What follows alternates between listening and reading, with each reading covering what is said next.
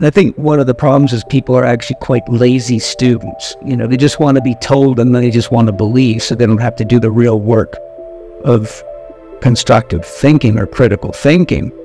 And um, I think it's good that, you know, there's people like you teaching what you're teaching because I've heard you talk about lots of these different things.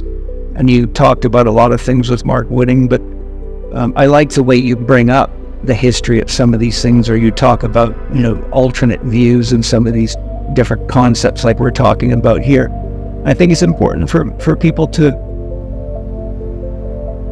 you know, put effort into learning so it's not just, you know, pseudo knowledge.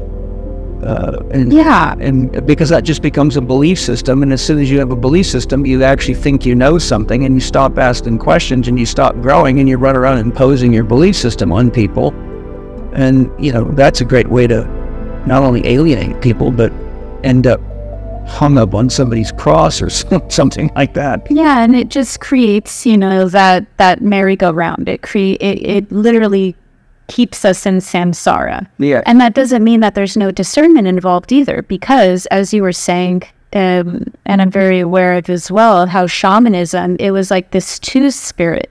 It was it was known for being an outsider, for being what lit- literally the de- the definition of weird. yes So there's that, and I would call that organic. And then I have this model, I guess, for reality, or at least what's overlaid over this as well. And that's organic and synthetic. Mm-hmm. Organic and synthetic. And what we're seeing is a mix of organic and synthetic. None of that is meant to make us not open our heart. None of that is meant to not dull our discernment, right? So it's this navigational period for us going through spiritual sovereignty where we're navigating what are the synthetic, or I would call it socially engineered mm-hmm. manifestations we're seeing, and what are the organic? And then what is the synthetic things going on or socially engineered things going on that still have some organic qualities to it?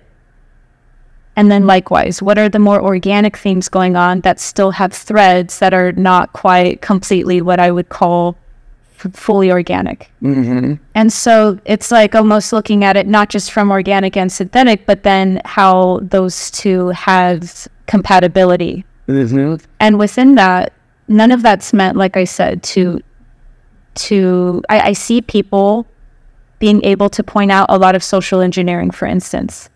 But they're coming from and you've probably encountered this a lot. You can feel their frequency. They're not coming from a better place. No. They're claiming to be conscious because they understand some sort of social engineering, and that's great that they can see through one layer. But it's almost like to see through that, it costs them their heart. And if something closes your heart, then they, whoever we want to call them, they, they win. So it's like black alchemy at that point. It's a false alchemy. And so I see that a lot with, especially every four years, um, anything going on that's like a movement, right? There was like Black Lives Matter, and I saw, I mean, the social engineering was, it was explicit. It, it was like, duh. And yet, I'm still not over three fourths.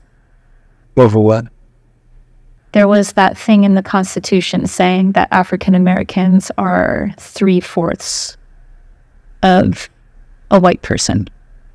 you mean in, because of we emerged from It was African some race? sort of like it was it was saying that a, a slave or, or an African American I don't know exactly the the what how the legislation was written but back in the day it was the three fourths that's what it was known as and so I look at something socially engineered and I also can see the organic wound that the collective needs to tap into and heal in order for the social engineering aspect of something to kind of no longer be a blind spot in the collective that can continuously be doused in gasoline and inflamed every time to f- create further division.